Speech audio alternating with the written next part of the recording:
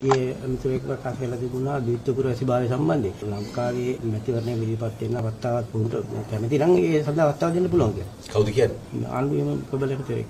ගොඩක් රටවල් වල දුත්ව රටවැසි භාවයේ තියෙන අයට ඒ රටේ රාජපාලන ක්‍රියාදාමයට සම්බන්ධ කරගන්නේ නැහැ. මේ රටේ ඔය දුත්ව රටවැසි භාවය පිළිබඳ ප්‍රශ්නේ ගෙනාවේ ගෝඨාභය රාජපක්ෂ මැතිතුමා සහ බැසිල් රාජපක්ෂ මැතිතුමා ඉලක්ක කරගෙන. ඉතින් මේ චරිත දෙකට අදාළව නම් දුත්ව රටවැසි භාවයේ තිබීම කියන එක ප්‍රශ්නයක් කරගත යුතු නෑ. ගෝඨාභය රාජපක්ෂ ජනාධිපතිතුමන් තමන්ගේ ඇමරිකානු රටවැසි භාවය අයින් කරලා දැන් තනි රටවැසි භාවය සහිත පුද්ගලයෙක් හැටියට මේ රටේ රාජ්‍යපාලන වගකීම හොබවන්නේ. ඒක තමයි වඩා සුදුසු. දැන් දින කිහිපයකට ප්‍රථම තරුණ මන්ත්‍රී කණ්ඩායම බෙසිල් රාජපක්ෂ මැතිතුමාට නැවත ආරාධනා කළා තියෙනවා. ඔව් ඉතින් බැසිල් රාජපක්ෂ මැතිතුමාට නැවත පාර්ලිමේන්තුවට එන්න ඕනේ නම් දැන් උනත් ඒකට බාධාවක් නැහැ. ඇමරිකානු රටවැසි භාවය ඉවත් කර ගැනීමත් සමග ඒක කරන්න පුළුවන්.